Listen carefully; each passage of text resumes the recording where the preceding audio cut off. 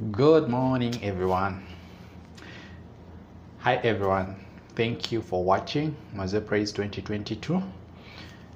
Today, I just want to share with you a few tips on how to achieve your goals.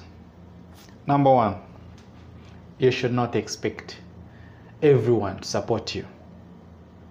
Don't expect everyone to support you because these are your goals okay? If they are your goals they are goal they are your goals. It's you to achieve them. If anyone supports you we thank god. But if people do not support you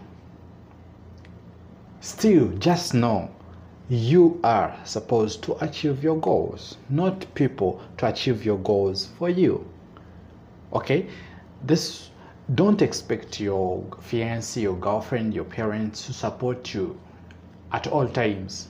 Actually, if they ever support you, just know you're going the wrong direction. If they ever support you, just know you're going the wrong direction. Otherwise, they are not supposed to support you. Yes, they are not supposed. You are supposed to encounter obstacles. You're supposed to, to to to find hardships, and every time you find some hardships in life, just know you're going the right direction.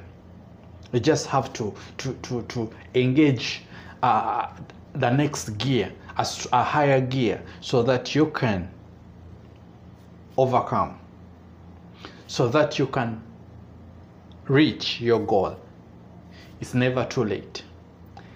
It's never hard. What makes achieving goals more harder is our expectation from other people. We expect a lot from our friends. We expect a lot from our bosses. We expect a lot from our lovers. We expect a lot from our relatives.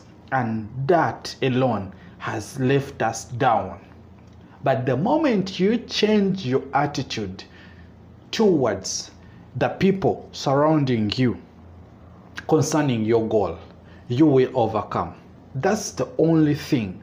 Change your attitude towards the people surrounding you concerning your goal. You will achieve your goal because you will know that you are supposed to achieve your goal regardless who surrounds you, who supports you, who hates you. Thank you for watching Mose Praise 2022. I love you so much. See you next time.